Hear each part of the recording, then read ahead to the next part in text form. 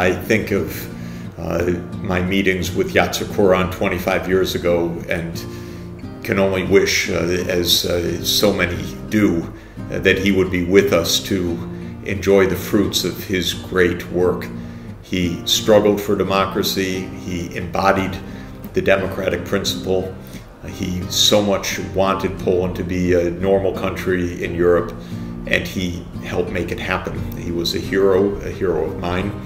Uh, he was an inspiration. I came to know uh, Jacek uh, Kuran not personally, but just by his name and his reputation. What I read about him from him and what I experienced from other friends was that he was extremely committed to social justice and to freedom, both of them, that he was very committed to really close the gap between the real poor and the uh, much richer part of the society, and that he was also really keeping to his goals when he was in power. Of course, I know that he was related to the movement of renovation of the, of the left uh, and uh, trade union thought in the years of Solidarność.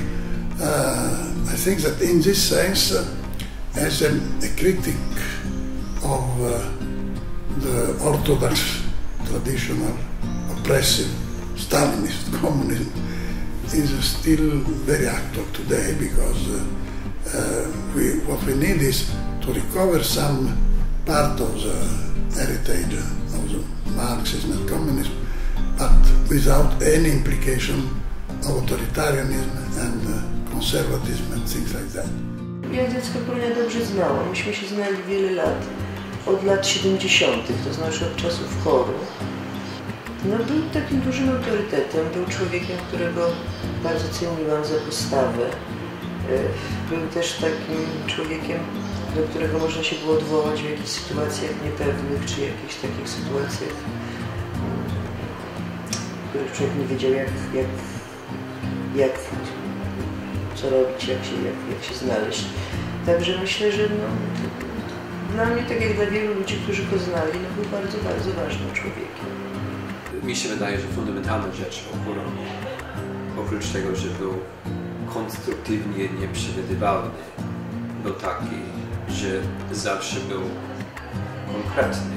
To znaczy w, obecnej, w obecnym momencie historycznym, kiedy jesteśmy już zwykli mówić takimi abstrakcjami jak globalizacja, kapitalizm, oligarchia, a to chyba oni mówią wszystko racja z tą globalizacją, oligarchią, kapitalizmem, ale trzeba zacząć od, od, od, od ludzi, to znaczy trzeba być w stanie porozmawiać z ludźmi.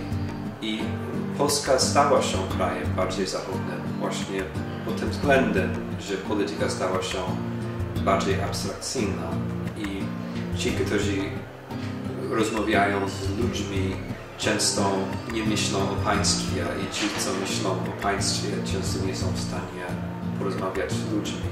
Więc mi się wydaje, że właśnie Kuroń uosabiał taką możliwość myślenia kategoriami państwowymi i też um, z pamięcią zawsze o, o, o, Chyba najważniejszy talent Jacka, Jacka Kuronie był y, jego talent do rozmowy z zwykłymi ludźmi. I mi się wydaje, że w tej chwili w Europie właśnie brakujemy politycy, którzy umieją tłumaczyć język zwykłych ludzi, dlaczego nam jest to potrzebne, jakie, są, jakie są cele y, europejskich organizacji i jak i, co to, i, co, i też co ludzie mogą robić dla Europy, co, co Europa potrzebuje od właśnie swoich obywateli. On zawsze szukał wyjścia. Zawsze uważał, że nigdy nie ma, nie ma sytuacji, gdzie nie ma wyjścia. Więc trzeba działać, trzeba szukać, trzeba, trzeba wymyślić.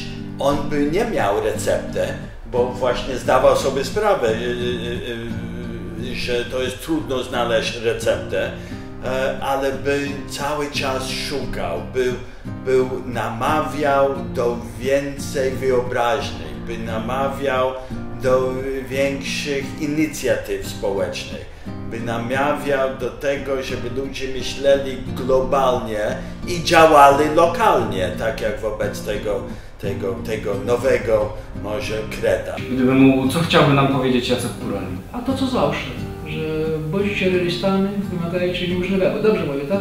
I nawiasem mówiąc, to jest motto, które jest dane Ukrainie i bardzo często się powtarza. Nie wszyscy znają, że to jest motto Kuronia, ale powtarzają bardzo dobrze, bardzo, bardzo często.